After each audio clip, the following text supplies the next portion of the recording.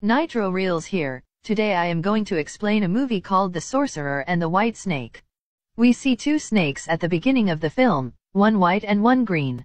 Both snakes are sisters. They appeared to be young, but they were over 1,000 years old. Sahen was the name of the white snake. Both snakes had the ability to adapt to the human form. One day, both snakes see a boy named Xian at a mountain. He was tasting the flowers on the mountain. Both get shocked that does human beings eat Flowers? In fact, Xian came there with his friends in search of some herbs. He was alone moving forward through the mountains. The green snake comes there in her original form and scares him. Being scared, he falls off the mountain into a river. Seeing it, the white snake feels pity for Xian. She feels bad for him. She goes into the river in the form of a human.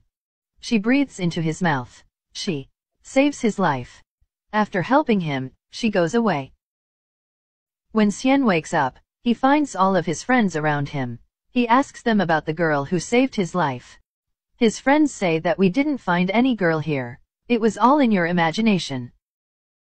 The same day, a festival was supposed to be organized in the village. The master of the temple and his friends were also going to the festival with him.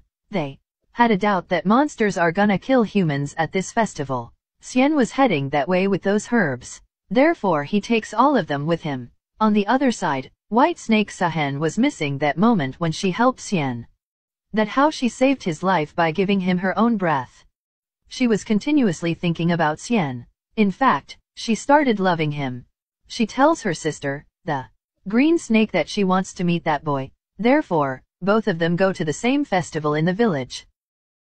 The same night, Master and his companions had come there with full preparation because they knew that monsters can attack humans at any time. Green Snake meets the companion of the master in the festival. Because Green Snake liked him. She wanted to befriend him. He says that I can't talk to you right now as I'm here to catch the monsters. He didn't know that the girl asking him to be her friend was also a monster. But then the green snake sees Xian. She goes to him. She tells him that her sister loves him and she wants to meet him. Xian says that I don't know about your sister. He refuses to meet her sister. Green Snake falls into the river. She pushes his boat in order to take him to her sister.